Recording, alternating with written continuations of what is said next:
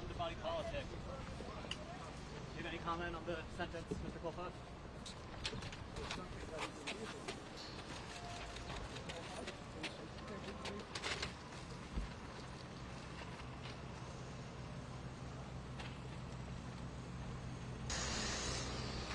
You want to get like two seconds, and then we'll want to go here, and we'll get.